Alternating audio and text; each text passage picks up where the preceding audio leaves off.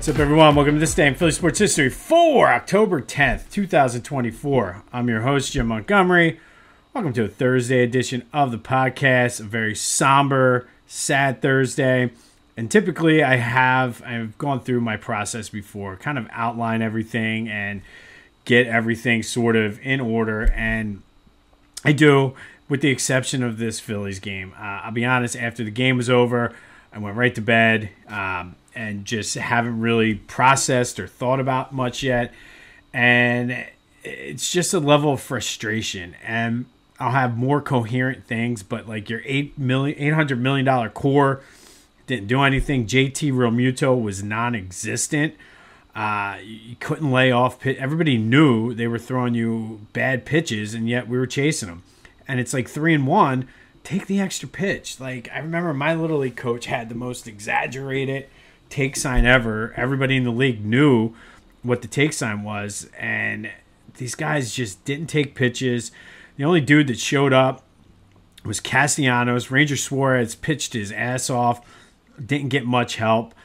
Um, I don't know. There's plenty of blame to go around. We'll have a lot more in the coming days and weeks about what's been going on with this team, but it's just I don't I don't even know where to start. So everything I'm saying right now is very incoherent and probably all over the place. But it's like you had a golden opportunity, and the history of postseason baseball in this city, you don't get many opportunities, and there's a lot to be said about peaking too soon.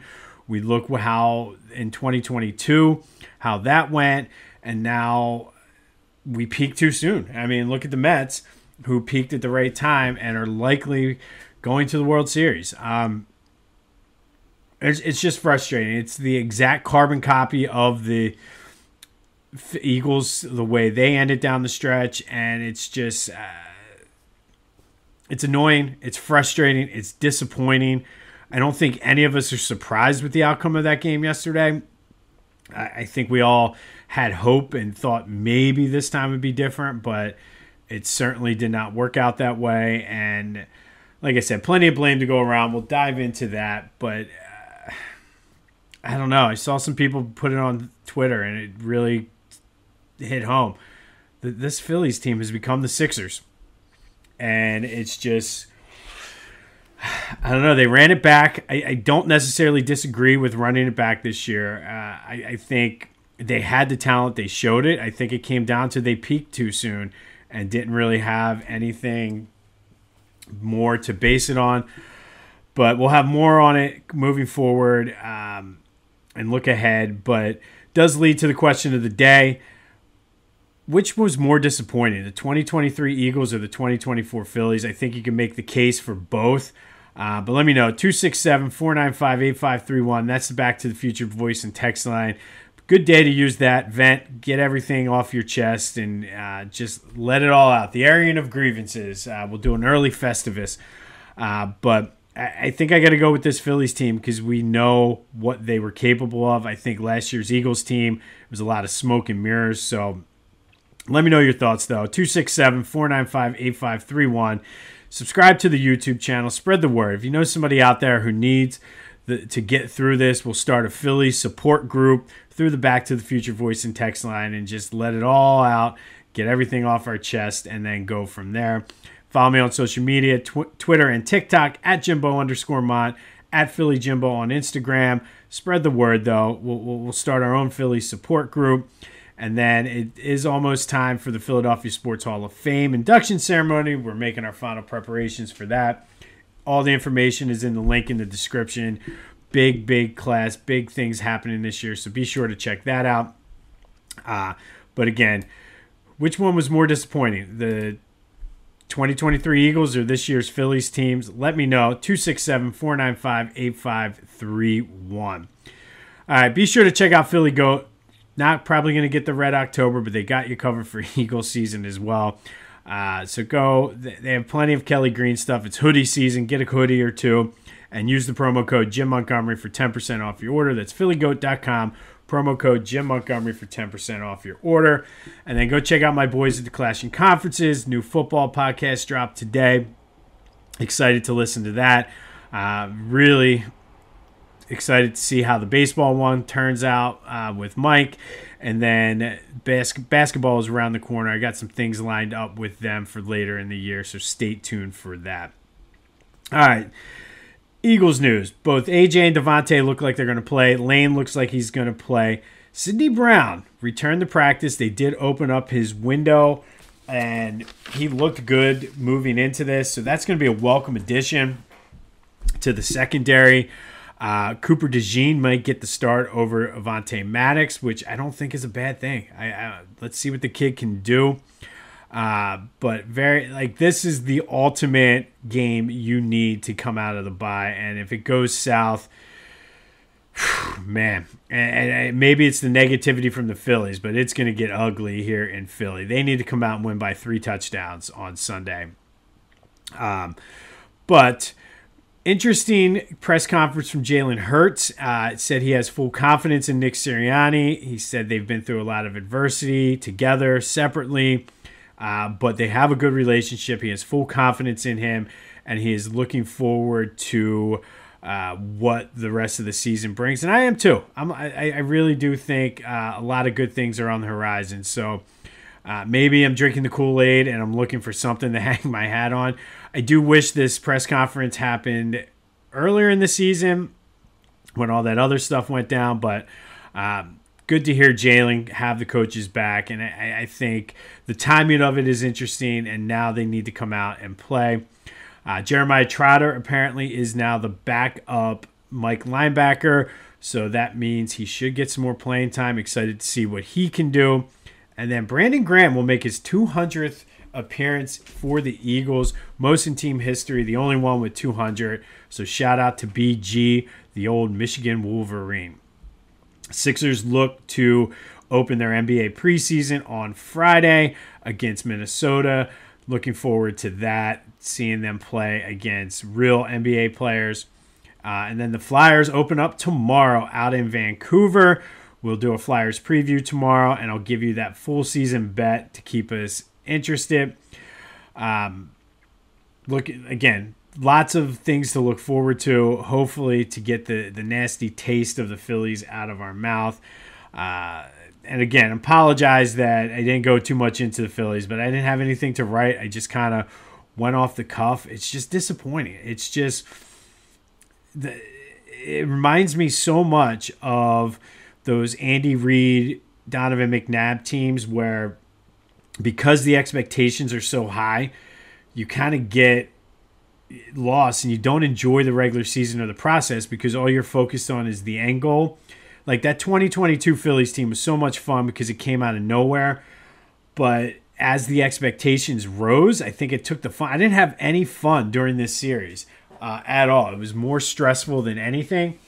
And to have that kind of showing is just ridiculous. And then even if you go back to the the last time the Phillies went on a run, the 08 team was so much fun because it came like it, it was just fun. Uh, the 09 to a certain point was fun because they got back to the World Series, but 2010 2011 wasn't fun because all you wanted was another championship. And I know that goes with the territory and everything, but it, there's a lot of work to do. And like I said, we will get more into what they need to do and I, I'm, I'm going to go on the record and say I was fine with them running it back this year. It's just that they peaked too soon and just didn't didn't have a disciplined approach at the plate throughout the playoffs and even during that like they just and you could tell they were pressing. They were trying to do too much. Um i mean look at Bohm i mean Bohm might not even be back next year. Who knows? Like there's just so many question marks.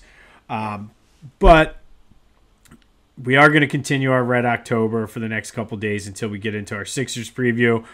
Uh, hopefully, relive some of those big memories from Philly's past. We got two today just because of the way the schedule happened to fall. First, on this day back in 1993, it was game four of the 93 NLCS. Phillies were down two games to one. I was hoping that this was going to take on a different meaning uh, today, but here we are. They needed a big win down in Atlanta after they got blown out in back-to-back games. It was John Maddux or John Maddux, John Smoltz versus Danny Jackson. and it turned out to be everything you thought it would be for a pitcher's duel. Braves led 1 0 in the bottom of the second, and then Kevin Stocker and Danny Jackson helped himself out. Both had RBIs in the top of the fourth. Jackson was in and out of trouble all game, but that's how the score ended. Two to one, Phillies got the win. Danny Jackson went seven and two thirds, six strikeouts, two walks. Mitch Williams got the four out saved, and the Phillies went on a nice little three game winning streak to go to the World Series. Again, I thought that was going to have a much different meaning today, but alas, here we are.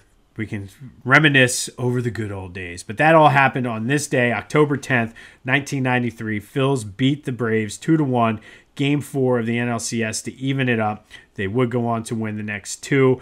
Uh, we know how that, we don't need to talk about that. Enough disappointment. We'll, we'll, we'll, we'll stay with the NLCS. We won't talk about the 93 World Series at all. All right again, this all takes on a different meaning now that the Phillies are out. But our Red October, great game in Phillies postseason history.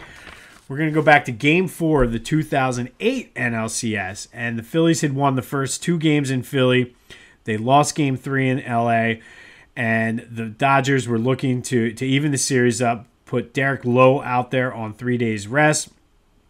But Jimmy Rollins and Chase Utley started it off. Uh, with doubles. Then Ryan Howard grounded out. It was 2 nothing Phils right from the get go. Dodgers did get one back in the bottom of the first. Then Ryan Howard scored on a wild pitch in the sixth to tie it. Dodgers got two more back in the bottom of the sixth. It was a back and forth type game and led 5 to 3 going into the eighth inning. And this is where the fun started. Uh, Victorino hit a two run shot to tie it. And I think everybody talks about what we're going to talk about next. More so, but that Victorino home run was huge because it tied the game and allowed Matt Stairs to even get the opportunity. And I think Victorino was so key in that 2008 postseason run. Uh, a lot of people talk about Howard. A lot of people talk about Utley, Rollins all of the other uh, Cole Hamels, but I think Victorino was the underrated player from that 2008 run. He had the big grand slam we talked about against the Brewers, and then if it wasn't for this home run, we're having a different conversation, and Matt Stairs doesn't get a chance to be, be the hero. But Chooch came up, hit a two-out single. Matt Stairs pinch hit for Ryan Madson, took Jonathan Broxton's 3-1 pitch deep to right. Phillies go up 7-5, and at that point that's when I think I really started to believe that they had a legitimate shot to win the World Series. Was after Stairs hit that, it was sort of like a magical thing. Like, all right, you can never count this team out. They had been coming from behind all season, but I think at that point you go up three to one in the NLCS. I started. That's when it really hit me that damn, this team might win the World Series. But Matt Stairs was the hero. Everybody remembers Matt Stairs' home run, but Shane Victorino's home run was just as big because if not, you don't have if he gets out there, pretty much the inning's over. Matt Stairs doesn't even have a chance to be the hero. But our Red October, great game in Phillies postseason history is game four, the 2000 NLCS. Phillies beat the Dodgers 7 to 5 to go up three games to one. Shane Victorino and Matt Stairs both hit huge eighth inning home runs to give the Phillies the win. And like I said, this is when I started to believe that, hey, this team is legit and can win the World Series. On this day in 1993, Phillies beat the Braves 2 to 1 in game 4 of the 93 NLCS to tie that series at 2 games apiece. They would go on to win the next two. Danny Jackson was the star both at the plate and on the mound as the Phillies beat John Smoltz down in Atlanta. Hard to do. Uh, we'll have our Flyers preview tomorrow. I'll give you the season long bet for us to uh, stay invested in the Flyers all year. Be sure to check out Clashing Conferences.